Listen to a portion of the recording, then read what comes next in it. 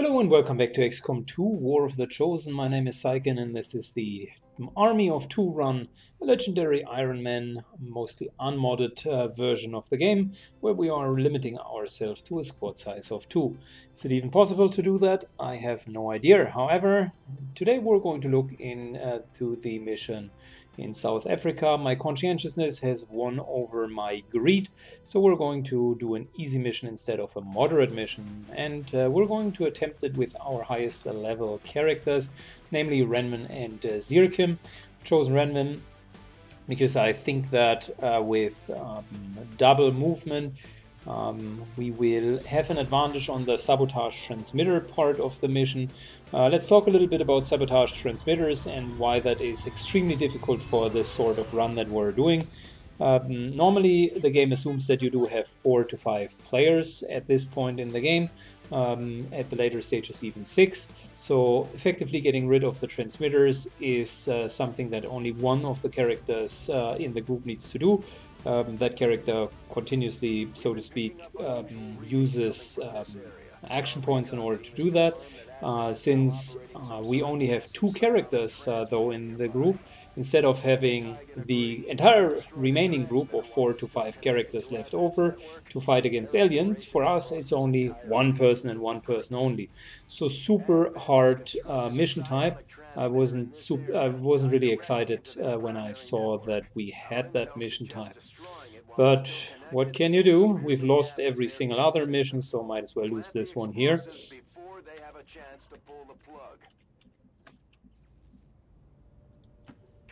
You will see me often aggressively charging in, because there's really only so much you can do. Nice. We, by the way, found the first transmitter, and we found an enemy pack. Well, that's a pretty decent start.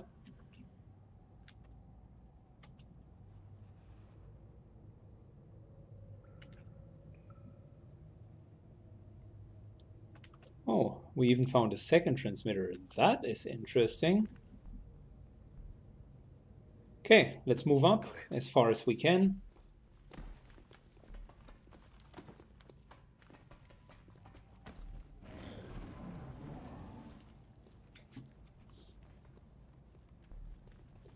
Cool. Both of them are standing right next to the transmitter. That's the good news. Which means we can engage them from high ground even. And kill the transmitter at the same time. Pretty solid start. Let's go.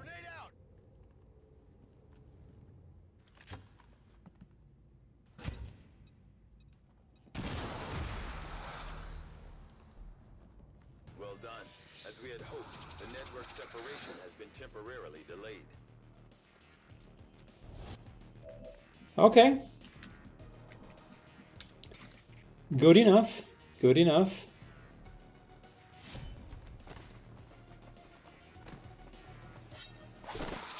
Time for some solid blade mastering.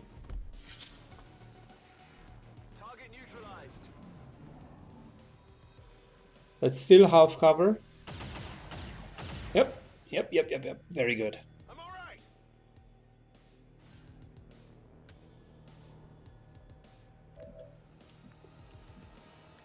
Okay, we know that there is another transmitter over here. It's good. Like it.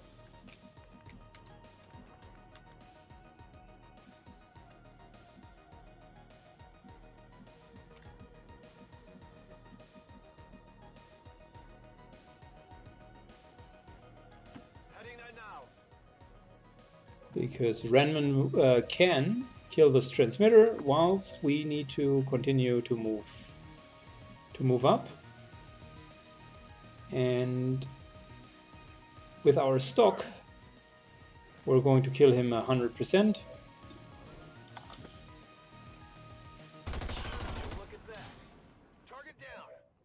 Of course, the game is tempting us to get some loot. But I know better than to take that temptation.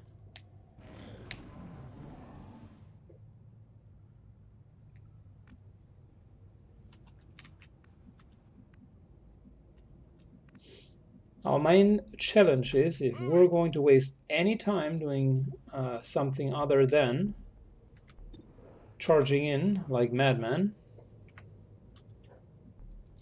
is going to end very bad for us.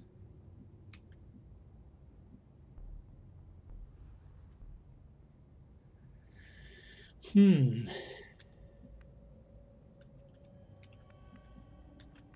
Do I feel like we can already advance to here?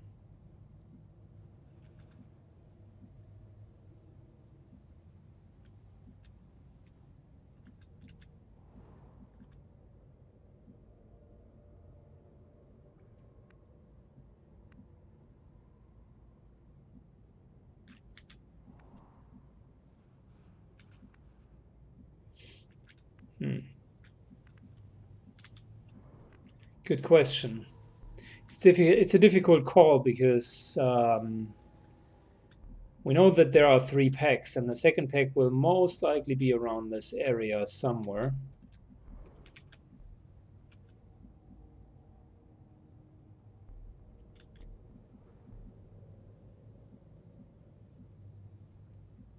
And we really don't want to get ourselves caught with the pens down.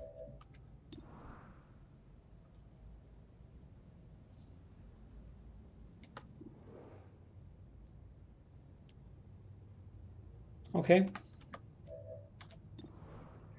Okay. I think we're good on uh, on the timer for now. We're actually pretty, pretty good. We upped the timer by one.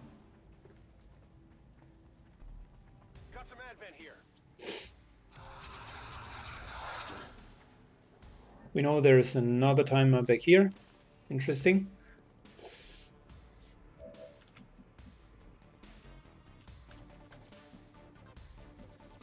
So since we're solid on the timer,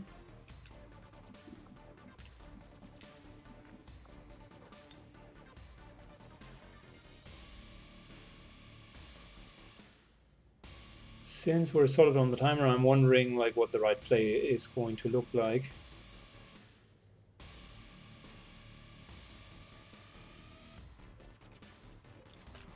Probably going to hit two of them, just to deal the most potential damage, right? Chance of killing one of them. And let's reload at the same time. We actually have enough time. Um, to have an to have a firefight here. So reloading. Need to get rid of uh, the sectoid rather fast.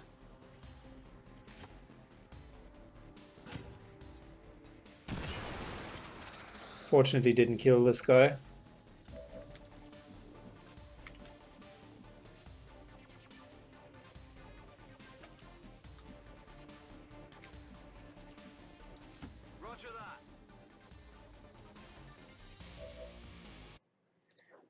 Gosh, of course now the antivirus scanner uh, shows up. Okay, back in the game. So this here could be a potential one-shot. That's another good uh, option. I think we're going to go with the sectoid actually. Hmm.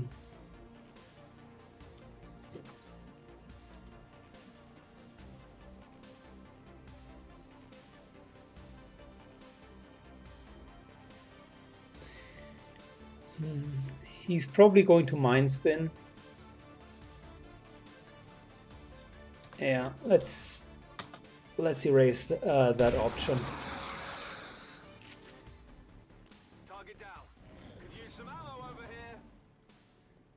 Okay, we're going to get shot. Uh, that that is not a question, but we can kill both of them. relatively easy. And we got ample time. So we know there is another timer over here.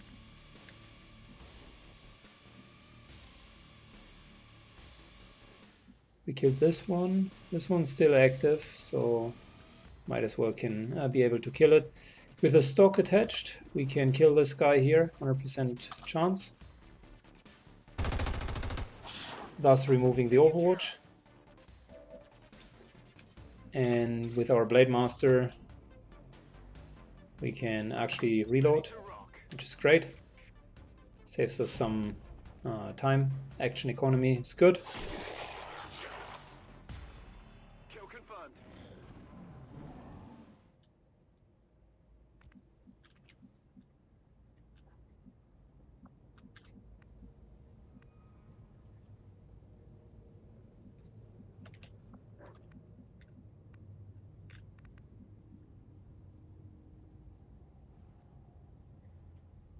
Going to play it a bit risky here, so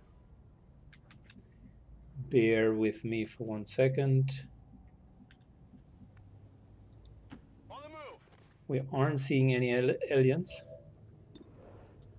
It's actually more important for us to prevent the network separation and get a good position. That's one. That's two. Going to kill this one here and I'm going to blade attack this one next so that we're having a very solid position.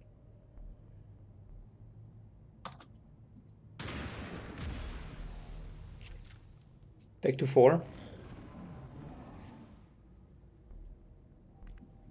Haven't heard anything about alien movement, which is strange, I might say.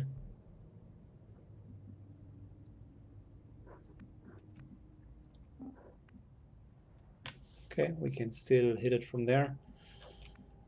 Mm. I guess I'm tempted. I mean, from here to here, oh, that's so good.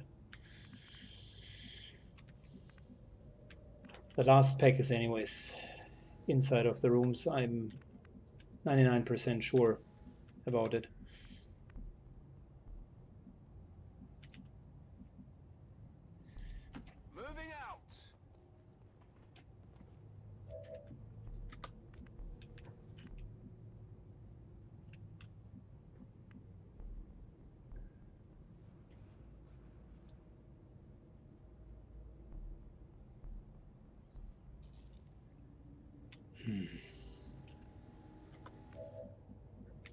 We do have a grenade.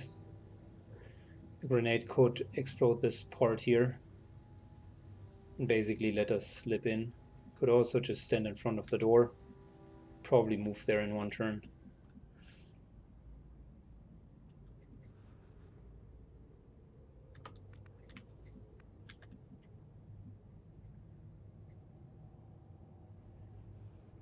All right, let's go.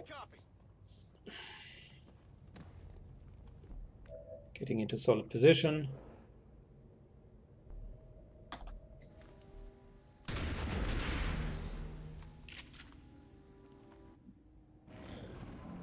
We're not picking up any more of those relays. That's all the time we're going to get, Commander. Normal movement. How far could we go? Hmm. I think we need to open.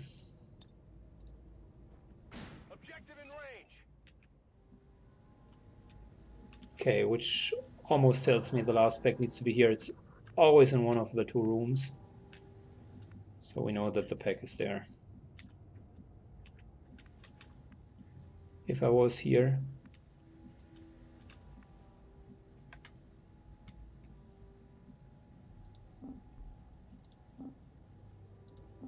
if I would end my movement here. No, I can't do it in one turn. Okay, let's try again.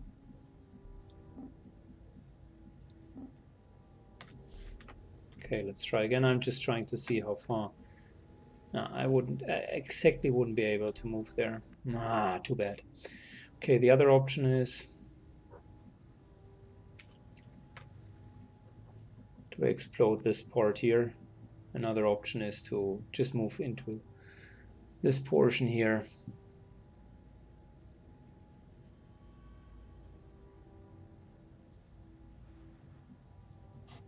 Let me see something else. If I was to stand here, I would get to there. If I would be standing here, I would barely make it. Okay. Which tells me, although it's usually not a good idea to stand in the open, since this here isn't triggering anything and I could close the door in case something would have triggered, we're going to Overwatch, reload, and Overwatch. And next turn we're going to plant the C4. Look at us. Course.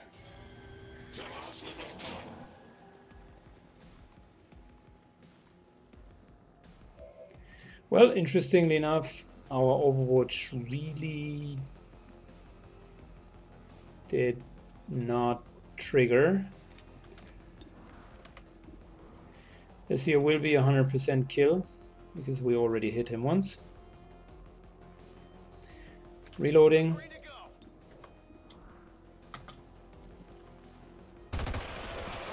Kill.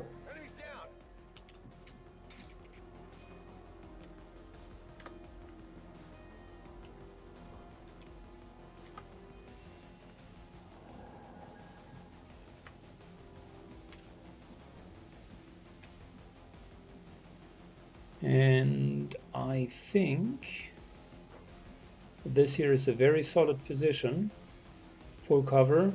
He can't move to here because he would be in line of sight. He's going to put himself somewhere here. Um, he's not going to flank us. And I'm pretty sure that we can use the shotgun to kill this guy. Alright. Yeah, he shoots into full cover. Menace 1-5, they're about to disconnect the transmitter. This is our last chance.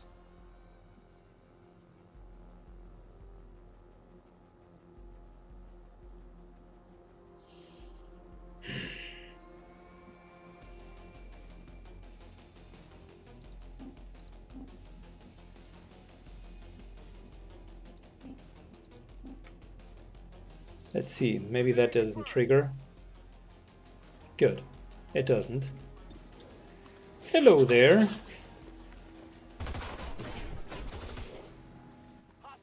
not picking up any other contacts. Get those charges deployed. we really made it. Unbelievable. Signal confirmed. X4 charges Can't believe that is happening. Flawless mission. Operation Unholy Grail.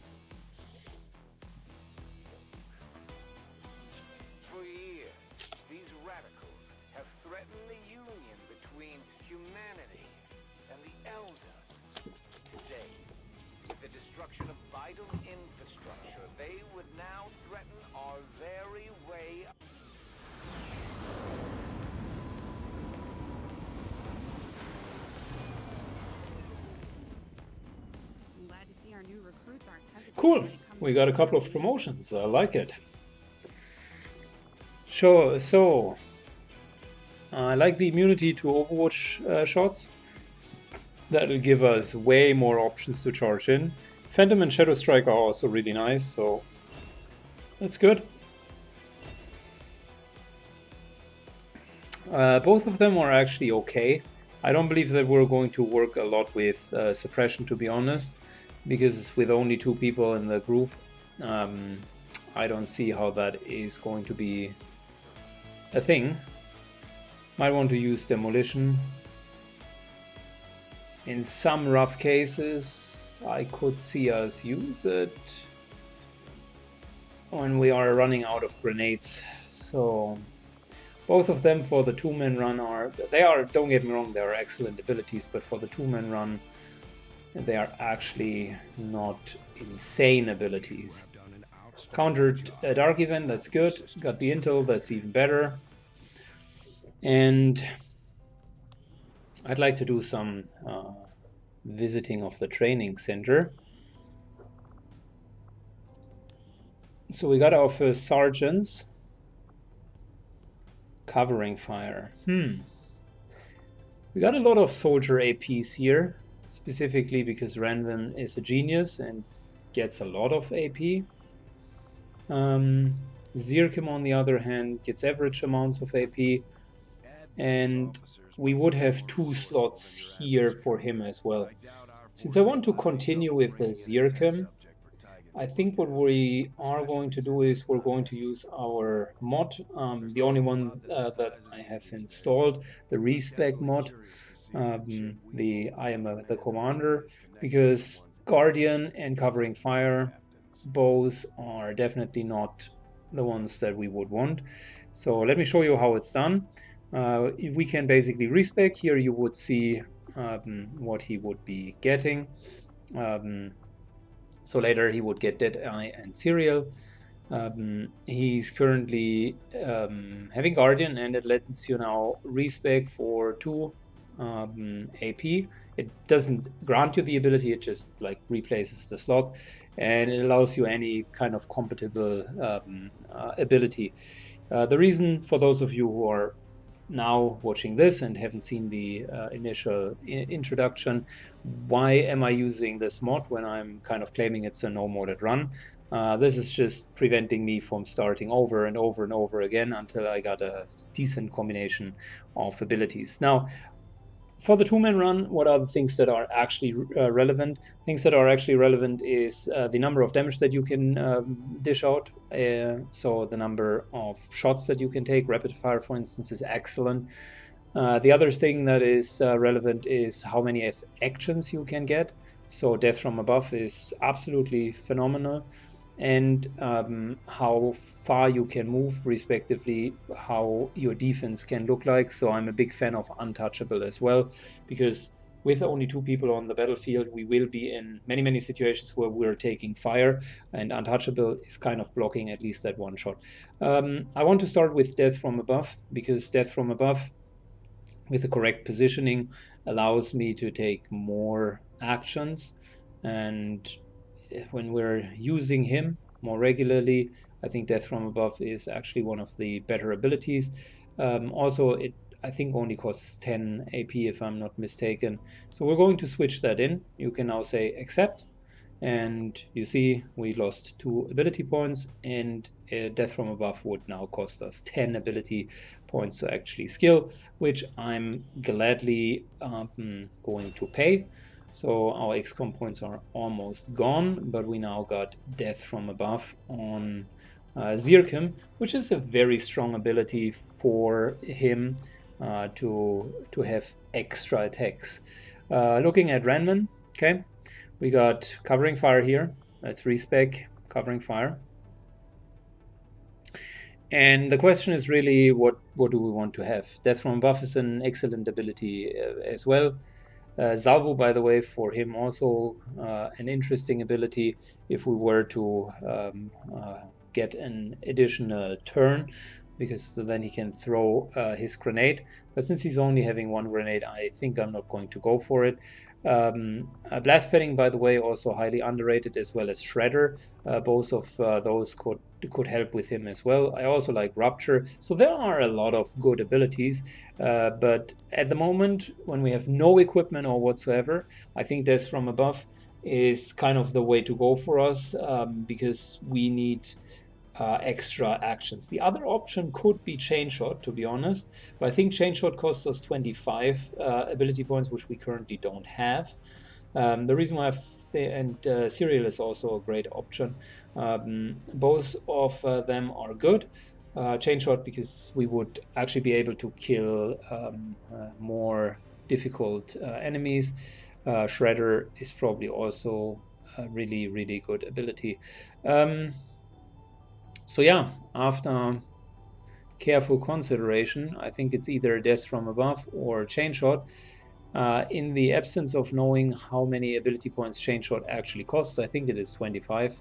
Um, we're going for Death from Above because I actually want to skill it, um, which you can see he's now at 12. and if we're skilling it, he's down to 1. Uh, so both of them now have a pretty decent first um, uh, first extra ability that they are uh, that they have skilled. We have limited options to get to high ground yet, but whenever we are in high ground, I think that uh, these abilities should help us quite a lot. There are supplies, which is helpful, and let's continue making contact. We still have supplies over here. Uh, let's also see what we would do next. I mean, we would clear the alien debris here after the resistance ring. So we don't need, well, we could use, actually we could use some supplies, I suppose. So let's get the 150 from the drop. Because currently we don't have uh, any supplies. And just getting a medkit or a flashbang a flashbang would have been really nice against the sectoid. Commander, we have a. We're tracking the aliens' progress. Good. We now got the Avatar project. They what. I can't say that I'm excited to see that. Not at all. Um, but yeah, it was expected. Well, look at that. Our resistance ring is ready. We could upgrade it for an additional resistance order, which we currently do not need. Invaluable in helping XCOM locate and eliminate these threats. We already have a covert operation underway, Commander. It will take some time to complete. Yeah, we don't we do not have enough engineers at the moment. I wish we really could um, put another engineer in here, but for the time being, it unfortunately we, we can't do it. So having the resistance ring is excellent because uh, now we can regularly do the missions. Having an upgraded one is even better. I like it, but we currently don't have the staff to pull it off. So we need additional engineers and um, scientists.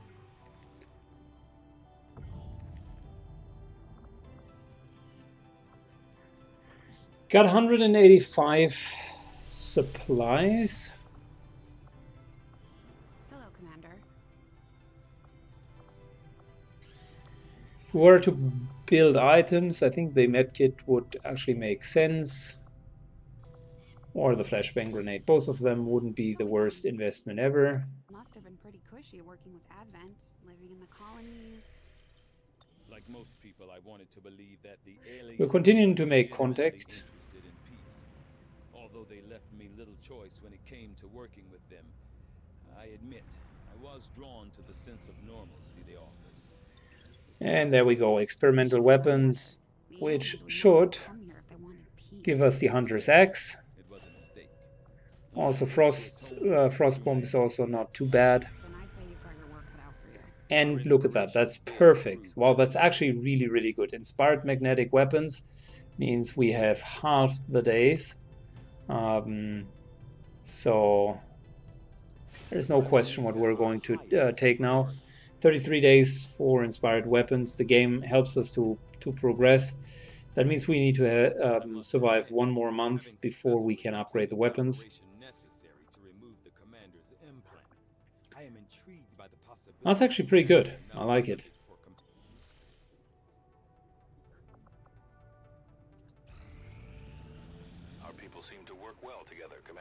Wow, look at this. Got a promotion and got a promotion for Dragonova as well. Our friends in the Resistance have helped to pinpoint the location of our missing soldier. Commander, we've confirmed the position of the soldier being held captive by the Chosen. We now have an opportunity to launch a rescue operation. Alright, we could get Praetor Mox back. Let's look at our um, Benefits we gain from at our um, potential missions. I'm specifically looking for promotions at that time. I like the promotion here. 14 days is a lot, but getting Templars, I anyways wanted to have the Templar. So this is most likely going to be our first mission. Very, very great um, opportunity for us. We are freshly promoted. So if we were to put Renman in here and Zirkim, Zirkim being the guy who's supposed to quote unquote carry um, this run, that is actually not too bad. Yeah, and we would get a Templar, which I would want to use. Originally, I wanted to, before uh, Roby kind of got uh, injured for 60 days, I wanted to go with a Templar plus Roby as uh, the main team. So uh, that's still on my bucket list. But having both of them already promoted means maybe we need to uh, use them also a bit more. So here we go, begin the action for them. Likewise, the look at our new, what's it going to be? Sniper, okay.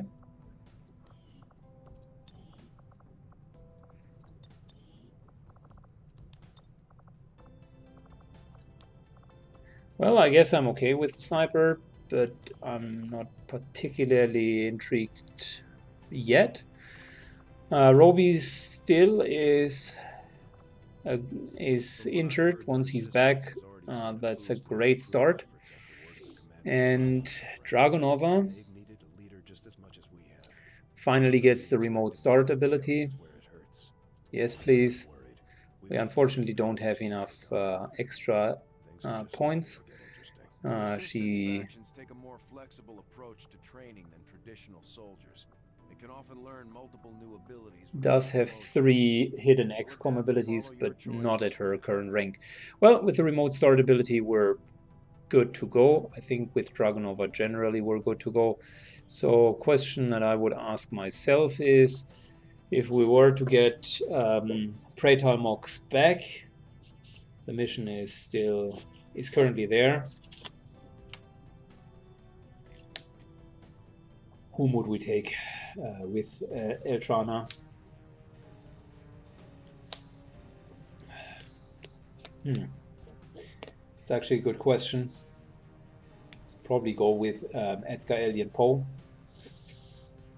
Just to level him as well. and it's a gratis mission. If we fail, there's really nothing lost other than Praetor Mox still being in captive. So I think the next mission will be a, a duo mission with the two of them. Knowing that these two are going to go in, let me think. Let me think. Um, Just give the word and I'll get started, Commander. I guess having a flashbang grenade as a starter is a solid, very solid choice. Yeah, we're going to go for that. Okay. And probably since we do get another 150, I'm toying with the idea and we get um, alien debris here, toying with the idea of how much would we get here? 80. Yeah, I think we can afford a med kit. We would still have 150 left over after the clearing of the alien debris. So yeah.